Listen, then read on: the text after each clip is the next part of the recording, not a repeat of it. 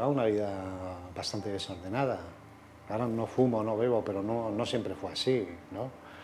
Y entonces vivía al día. Como tampoco tenía problemas del trabajo, o sea, pues iba a la agencia y a la semana ya estaba currando. Entonces, ¿sabes? Si me pilló la crisis, pues así. ¿no? De repente llega el 2008 y, y iba a la agencia, Adela, dame algo.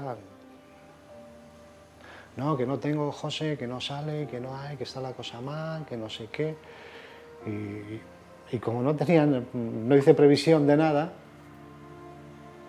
pues de repente me encontré sin dinero para pagar aquí, pagar allá, no sé qué.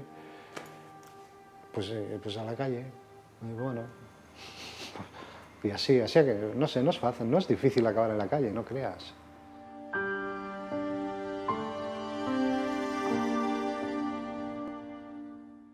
Un año en la calle se pasa bien. El problema es cuando ya empiezan a pasar los meses.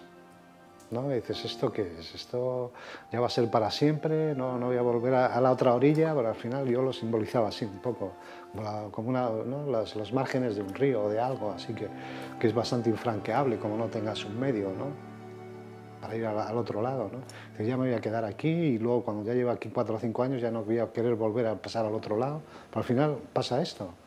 Al final cuando te quedas en un margen ya no, no quieres volver a saber nada del otro. O sea, ya, ya has acomodado a ese, a ese margen, en ese margen, en esa orilla y ya pasar a la otra orilla como que no, ni te interesa ya.